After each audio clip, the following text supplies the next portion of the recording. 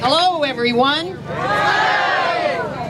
As Michelle said, my name is DK Hirner, and I am 58 years old. And about a year ago, I was diagnosed with DCIS, stage zero breast cancer, which was diagnosed during my routine mammogram. Now, I have had routine mammograms since I was 27 years old. And I will tell you that maybe it was the one last year that's the one that saved my life. And I have all of this. I owe all of this. And I thank Planned Parenthood because that's what changed my life. That's why I had annual mammograms since I was 27 years old. And that's why I stand here today in support of the Planned Parenthood Action Fund. And you all stand here with me, don't you? Yes, you do.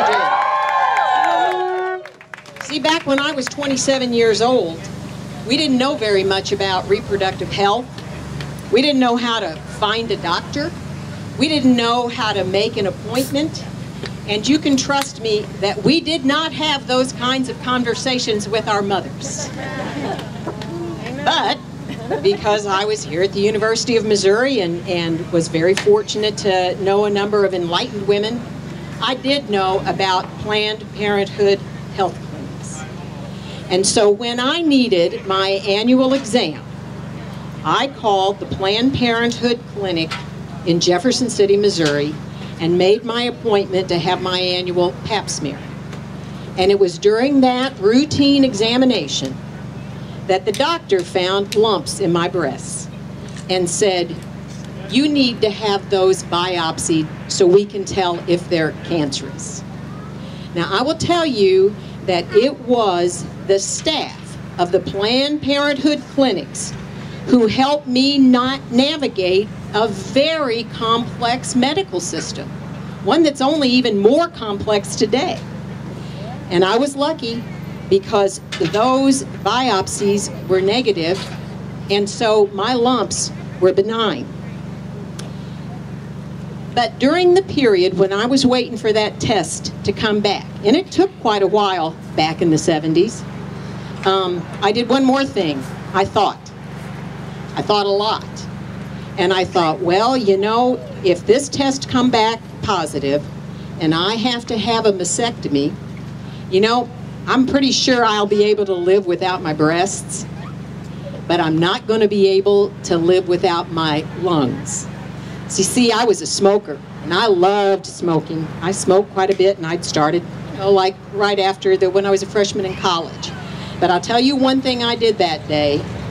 Within the week after they did the biopsy on me, and I'm not a litterer normally, but I was out driving my car, and I pulled over to the side of the road, I rolled my window down. I threw that pack of cigarettes out that window, and I have never picked one up again. You see, it was the positive experience that I had with Planned Parenthood that put me on the road to a healthier lifestyle. And for that, I am very grateful.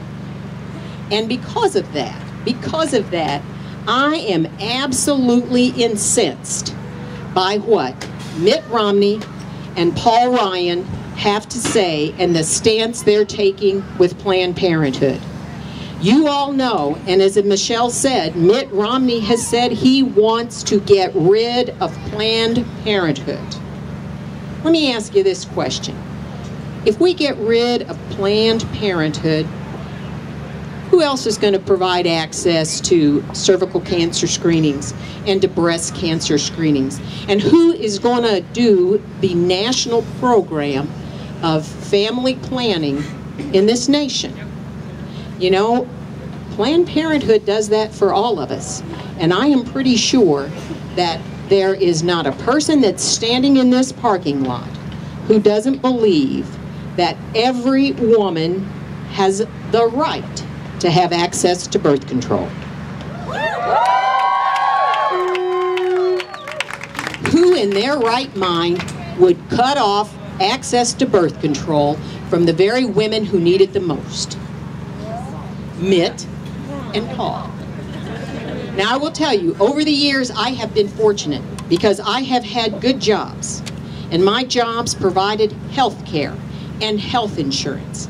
And because of that, I was able to have access to some of the very best treatment that is available in this country. And I'm lucky. But you know, there are many women who aren't so lucky.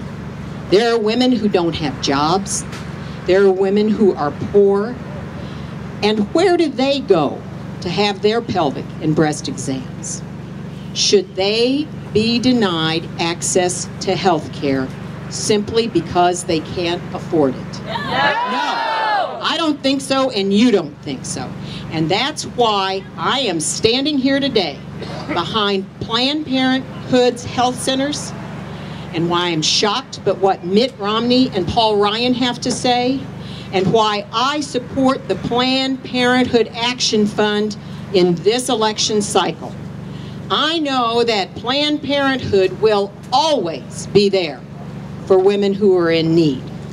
And I know that I will always be there for Planned Parenthood. And thank you very much.